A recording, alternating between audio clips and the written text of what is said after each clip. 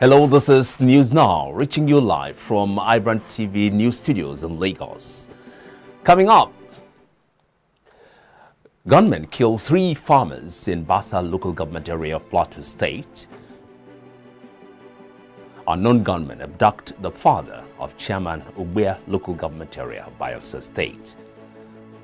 President Muhammadu Buhari approves setting up of integrated farm estates in all the senatorial districts across the country. The U.S. economy adds fewer jobs than expected in August as employment rises by 235,000.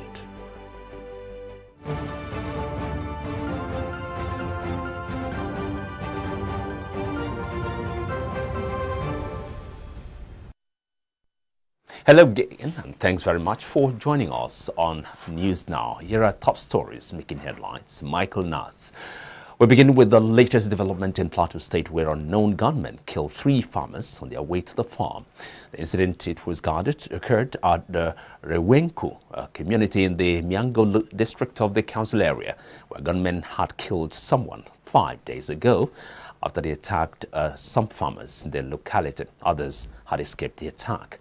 Spokesman for the Miango Youth Development Association, Nuhu Bitrus, confirmed the latest attack on the farmers. President of the community, Friday Bulus, who lamented the killings, gave the names of the victims as Friday Yakubu, 39, Sunday Na, 45, and Musa Avi, who said was 57 years old. Bulu said that the three corpses had been evacuated from the bush to the community for burial. We'll bring you more details of this very story in our subsequent bulletins. Meantime, in Bayelsa State, unknown gunmen have attacked or abducted the father of the chairman of Ogbia local government area. Uh, Ba Lipre uh, Turner uh, was kidnapped at his residence at Samfino Street, Bansia, in Yenagoa, the state capital, and whisked away to an unknown destination. The incident occurred around 10 p.m. on Sunday. His whereabouts remained unknown at the time of filing this report. Now, President Muhammadu Buhari administration has approved the setting up of integrated farm estates in all the senatorial districts across the country. Executive Secretary of the National Agricultural Land Development Authority, Prince Paul Ikonne, announced this Saturday weekend after a meeting with President Muhammadu Buhari, the presidential villa in Abuja. The NALDA boss said the land provided for the project would enable the youth to leave the unemployment market and help the country to achieve food security within a short time. He said the Kogi state government had donated 700 hectares of land to NALDA for the integrated land estate, while the 100 hectares of land donated by the Ogun state government had been cleared. Ikonne said the president was committed and uh, to working towards ensuring that the country achieved food security. To make this plan a success, Ikonne, however, urged state governments to make arable lands available for the project. Now, the seven Chief Just, uh, Judges summoned last month by the Chief Justice of Nigeria, Justice Ibrahim Muhammad, for allegedly issuing conflicting court orders are to appear before him today in Abuja. Although today's summons were earlier directed at the CJs of uh, Rivers, Kebbi, Cross River, Anambra, Jigawa, and Imo states, it was learned that the invitation was later extended to that of Delta State over a purported order against the leadership of the All Progressives Congress, APC. The affected judges are to first meet with the CJN in preparation for the eventual appearance before the National Judicial Council. It was learned that the CJN plans to meet with the leadership of the Nigerian Bar Association during the week. The federal government has vowed to recover millions of naira wrongly paid to 588 medical doctors across the country. Minister of Labor and Employment, Senator Chris Ngige, said this when he fielded questions from State House correspondents in Abuja. He explained that affected doctors wrongly benefited from medical residency training fund meant for a particular category of doctors. He said the names of the doctors were uncovered after a thorough scrutinization of the 8,000 names submitted by chief medical directors of federal government health institutions for the training program. The minister, however, revealed that a substantial amount of the money had been refunded by some of the affected doctors, while efforts had been intensified to recover the remaining balance. Kaduna State Government uh, Governor Nasiru El Rufai says his government is committed to organizing free, fair and credible elections across the state. Speaking at the uh, on Guan Sarki Ward under Kaduna North local government area of the state during the local government poll, the governor advocated electronic voting as a measure to curb election fraud. The voters' machine we've been using now in the newly technology, I think it's good. But preferably, there is no privacy. You have to allow the electorate to choose whatever party he likes, not knowing from the, the other person. That is the presiding of the polling units. When you operate the machine, you display the, all the party logo, allow the electorate to cast his own vote, go back to one side, make a private, uh, let the, uh, electorate choose what he's supposed to choose, and leave him to do whatever he likes. So, but this now, what I've seen now, it's, a, it's a new te technology. We like it, but there is no privacy. I think that there is a significant improvement over 2018 local government elections. Uh, the improved voting machine we now have makes it nearly impossible to do multiple voting, which happened a lot in 2018. The whole process takes less than 15 seconds. So it's very quick, very efficient, and will allow the people of Kaduna State to elect who they want. We do not have to win everywhere. We know that we have worked for the people of Kaduna State. We know that they can see the footprint of the government and local government everywhere, the APC government, and we are confident. Now, the People's Democratic Party, PDP, in Kaduna State has described the 19 local government elections as a shame and unacceptable by the party. The PDP claimed the electronic voting machine was programmed to rake other parties out of out of the election by scoring votes for the APC at the commencement of the verification of the result sheets prior to the voting proper. It's wrong. I mean, it's different from what we saw today in most of the polling units. Because the first printout as we got from different polling units, uh, it seems as if the machines have been tampered with, with results allotted to the APC, giving them bigger numbers, I mean, huge figures uh, different from other political parties. If you see, we have some of the results here, the result sheets, printout from some polling units. With such figures being allocated to APC, it is as good as to say that the results and the outcome of the election have already been determined by KAD-SIECOM officials working in tandem with APC to rig the election to ensure that the votes of the people do not count. So this is not acceptable to the party, totally unacceptable to the party, totally unacceptable to the people of Kaduna State. The president of the Christian Association of Nigeria, Dr. Samson Ayokunle, has advised Nigerians to embrace uh, love and unity. Ayokunle, at the inauguration of Love of Christ Generation Church, Lagos on Sunday, said the country would move forward if the people were united. Similarly, the General Overseer of the Redeemed Christian Church of God, Pastor Enoch Adejare, in his uh, sermon, noted that God was capable of answering all those that call upon him. The founder of the church, Reverend Mother Esther Ajayi, said she listened to God's voice by coming to Nigeria to build a branch of her church. Now, the federal government has also been advised to make move towards making public offices less attractive in Nigeria. This was made known by Rotarian Ibrahim Adebisi, the new president, Rotary Club of Mende, Midtown, Ikeja, Lagos. Speaking with pressmen during his official investiture, held in Lagos, Rotary Adebisi said it is imperative for anyone who wants to assume leadership role to do so with the intention to render service rather than focusing on personal gains. He has a wonderful leadership uh, style, which if every government could adopt it, it would be very, very wonderful. And you know, it will it will not be an attractive government kind of. In Rotary, we are serving, we are actually eager to serve as a leader because not because we want to earn something, but because we want to serve selflessly.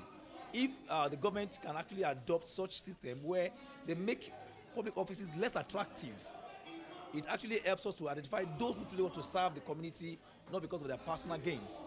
So that's my advice. But I, I, I wouldn't, I wouldn't think it's possible. But if they could adopt that system, like in Rotary now, the next three years, we have those who are going to serve in the club, leading and actually identifying projects where they are needed for people to actually benefit more. So for government, for governance, we would advise that they adopt the style of Rotary in terms of leadership style, and that will help a lot of people to have more impact and government to be more responsible for the citizens. Some members of the organization, however, spoke on their expectations from the new president. We support our president in achieving all his objectives. Inside there, you have uh, people that we have selected across the globe as the awardees, those that have supported uh, Rotary Club Mende in achieving his objectives of giving back to the society. It's, it's a great opportunity, especially um, for some of us that are Rotarians, to contribute to humanity, to um, help solve problems within our community in our own little way. And um, that's why everyone, everyone around the world, especially Rotarians, are always happy when it's a new Rotary year and a new president is being inducted. Yeah, well, it's been very, very challenging. I, I, I won't, uh, I won't lie here. But at the same time, it's been very impactful. Uh, my new president should be focused, should be strong, and uh, be calm. A former member of the House of Representatives, Honorable Joseph Akinlaja, has described the rising cases of kidnapping in schools in the northern part of Nigeria as a bad omen for the education system in the country. Akinlaja spoke in uh, Akure at the inauguration of uh, the Ondo State chapter of the Youth Assembly of Nigeria and Peace Corps. People can no more stay in school. States are withdrawing their, their citizens from universities other than their own. Ekiti will go on to Jos and bring people from University of Jos. People are bringing people from universities. Where will they study? So Boko Haram, Western education is becoming a, a, a taboo. The essence of government is to secure the lives of citizens and the properties of citizens. So that is the starting point. Uh, unfortunately, government is, has more or less have, uh, abdicated that responsibility, and the citizens are being told to go and secure themselves. But going forward, I think government should have a rethink. about the issue of uh, the government of the day. It's not about the issue of party, PDP or APC. It's not about issue of pointing fingers on this person is right or this person is wrong. Where have we gotten it wrong and how can we address the issues headlong is what should be the topic of the day. State. And I can boldly tell you today that not only the establishment, the Ministry of Education, Science and Technology has granted us approval and they have sent a circular to all principals in Ondo State to establish the Peace Club in, in the state. Sequel to the just concluded All Progressives Congress, local government congress uh, held, uh, held across the country, the Oyo State Chairman of the Congress Committee, Hilary Amudu, has applauded the peaceful coexistence among gladiators within the party. Amudu gave this admonition and his address at a stakeholders meeting of the party held the party's new state secretariat in Ibadan. And uh, I've gone around Ibadan. We went to some few places, and a lot of other members have gone outside to Oyo, to Isenyi, and others. And what I saw was a good turnout, um, peaceful Congress. The, the, the delegates were also there to uh, to do to exercise their franchise. And I was impressed. Well, I think uh, for the first time, I must commend uh, the, the party APC and its members for a job well done. What even amazed me about anywhere you go, you will see rejoicing. You look at the tides has changed. People are ready to take what belongs to them. So by coming as chairman of this uh, local government congress, I'm sure has sent uh, light also to the party, especially in Oyo State. And by his grace, we'll see the end of it. You're watching news here from the iBrand TV studios in Lagos. Coming up next is business news.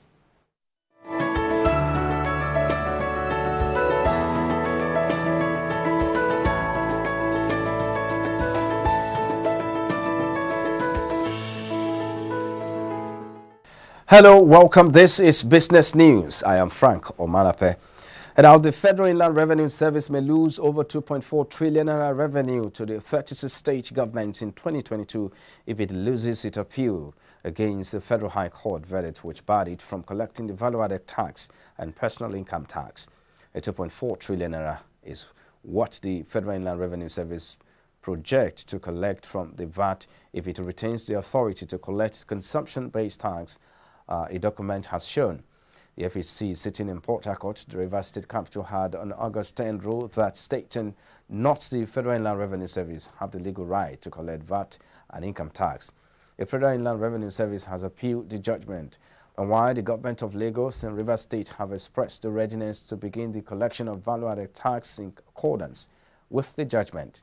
And away from there now, the National Bureau of Statistics says Nigeria's total trade rose 23.28% higher in the second quarter of 2021 compared to the first quarter and 88.71% higher than the value recorded in second quarter of 2020. This was contained in a document released by the Bureau at the weekend. The NBS also noted that the value of imported manufactured goods decreased by 5.1% in second quarter against the value recorded in first quarter, but increased 54.3% compared to second quarter of 2020. However, the value of raw material imports, it said, increased by 25.6% in the second quarter of 2021 compared to first quarter and 47.3% compared to second quarter of 2020, while imported agricultural products were 3.5% more in second quarter of 2021 than in first quarter and 56.9% more compared to second quarter of 2020. And away from there now, the Central Bank of Nigeria says cutting down on foreign goods, aggressive investment in agriculture, and complete diversification will revamp the nation's economy. Director Corporate Communications Department CBN Osita Nwanisobi stated this at the weekend at a one-day interactive session with the organized labor and civil society on the five-year policy thoughts of CBN in Enugu. Nwanisobi said it was for the reason the Apex Bank introduced about 37 intervention programs, especially for agriculture, to boost the economy, reduce inflation, and create more jobs for the youth. And now the president of the Dangote Group, Aliko Dangote, has disclosed that the African Continental Free Trade Area will offer his conglomerate a business opportunity that is estimated to be worth 12 billion US dollars per annum. Dangote made his disclosure during a high-level roundtable discussion on industrialization in Africa, which was organized by the Manufacturers Association of Nigeria, MAN, as part of the activities to mark its 50th anniversary celebration. He said, and quote, we are building a 650,000 barrels per day petrol refinery. All these are not for the Nigerian market alone, but for sub-Saharan Africa, because all the sub-Saharan African countries are importing the petroleum products, end quote. And in the meantime, the Securities and Exchange Commission has unveiled plans to reduce its operating cost in order to boost profitability within the next two years after the outcome of the Senate probe of the capital market regulators' finances last week. SEC has said it was projecting a fiscal deficit of 5.17 billion um, naira for the year 2021, with staff cost doubling of most of its revenue. The Commission, in a statement on Sunday, said the Director General, Mr. Lamido Yuguda, noted that the Commission was taking steps towards reversing its current fiscal circumstances which he said resulted from COVID-19 in these difficult times faced by capital market players. And on the African scene now, local motor uh, vehicle dealers are bracing for shortages as inadequate supply of semiconductors used in electronic devices uh, slow production of global automakers. Toyota, uh, Volkswagen, and General Motors are among the automakers that are cutting their production amid a shortage of semiconductors that are key in the manufacture uh, of modern cars. According to some of the franchisees, the supply disruption is expected to continue until April 2022, with a major improvement likely to be felt in the second half of the year. Semiconductors are used to control electric current, making them essential in battery management and in car entertainment, among other systems. They're found in devices such as sensors and microcomputers. And now Zimbabwe has licensed 57 foreign and local entities to grow medicinal cannabis in the southern African nation, a country's investment and development agency said in a statement Sunday. The agency said production has begun at some of the licensed farms which are spread across the country and the Ministry of Lands is working with the agency as well as the Medicines Control Authority of Zimbabwe to ensure that the quality of the seeds imported meet regulatory requirements. According to the Treasury, sales of cannabis are forecast to reach $1.25 billion in 2021. Zimbabwe legalized medical uh, medicinal cannabis production in 2018, but it hasn't begun any export. And on the foreign scene now, most Asian stocks rose Monday amid uh, an ongoing rally in Japan sparked by the planned exit of the Prime Minister and as traders mood slow, slower U.S. hiring that may delay a reduction in Federal Reserve stimulus. Japan was up more than 1% to a 31-year high on hopes of better pandemic management and more spending by Prime Minister Yoshihide Suga's successor. U.S. markets are closed Monday for the Labor Day holiday. There is no treasuries cash trading.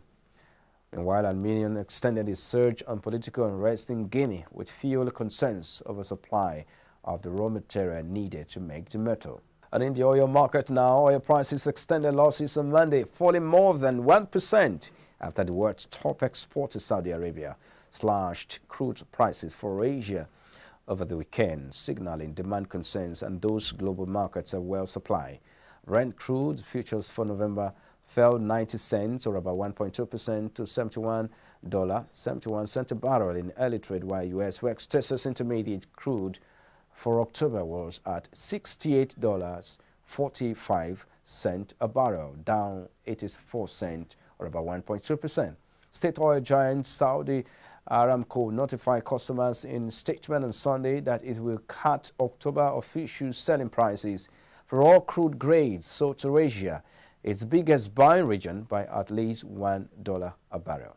And now the U.S. economy added few jobs than expected in August as employment rose by 235,000. The figure was well down uh, on the 1.05 billion jobs created in July, adding to fears that the recovery from the pandemic may be running out of steam. Despite the disappointing hiring levels, the unemployment rate fell to 5.2% in August from 5.4% in July. Economists say rising in infections caused by the Delta variant have hit spending on travel, tourism, and hospitality. They also noted that the Labor Department's data was collected in the second week of August, so does not reflect the impact of Hurricanes Ida and Henri in the second half of the month. President Joe Biden said he was disappointed but defended his record on the economy, saying it was growing consistently and Simagad of Principal Global Investor called the figures a major miss that scream Delta disruption. Well, and that's much we can take on business news at this hour. Many thanks for watching. I am Frank Omalape. He's back to you now.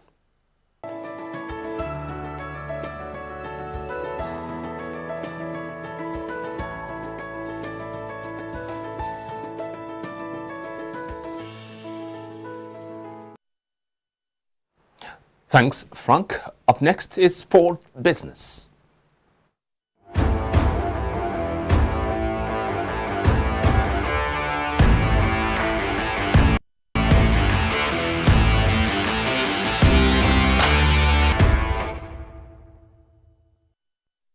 Cristiano Ronaldo's new number 77 shirts at Manchester United has smashed records for the most sales within the first 24 hours after its release. Ronaldo, who helped make the seven famous during his first stint at the club, was handed his old number after its previous owner, Edinson Cavani, agreed to swap to the vacant 21 shirt at the same number he was on the international stage uh, with Uruguay. United's club store was uh, inundated with fans trying to buy Ronaldo's seven jerseys.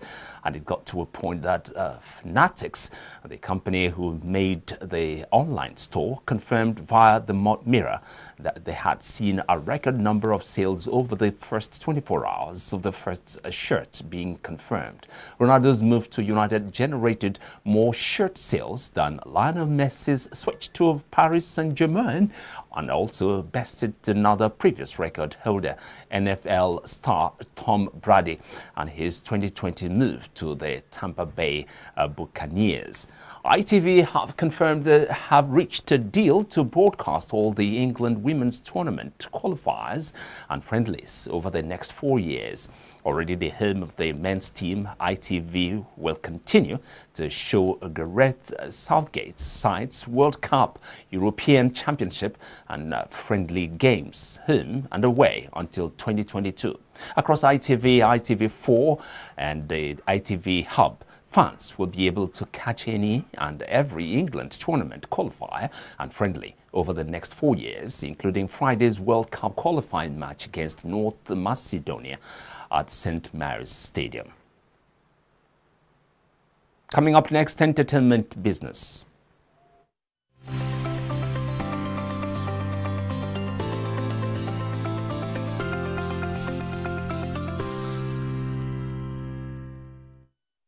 Marvel's Shang-Chi and the Legend of the Ten Rings garnered an estimated $71.4 million at the domestic box office this weekend. This is the second highest opening for any film released during the pandemic and the highest of any film released over Labor Day weekend.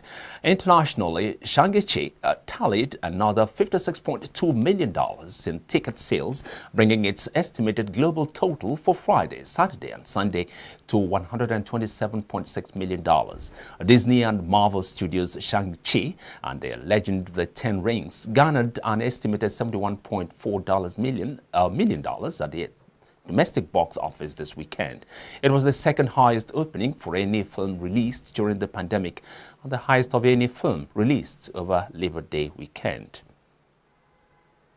Now, box office analysts foresaw a solid start to the film's theatrical run as it had the second highest advance ticket sales of any 2021 release, just behind Black Widow, according to data from Fandango.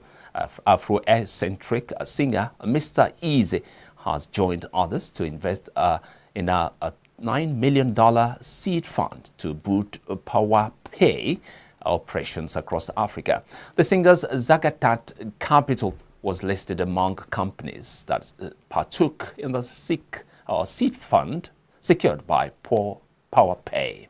Uh, confirming the development in a statement, Mr. Eazi, uh, who is also an entrepreneur, said the kicker for us was that we believe in the clear mission, vision and strategy, and we are confident that the Power Pay team is the best team to achieve it. Mr. Eazi is widely renowned for his investment in African talents with his emPawa Management that is responsible for the success of rising music star Joeboy. And with that entertainment story, we end the news here on iBrand TV Lagos. Thanks very much for watching. I'm Michael Nath.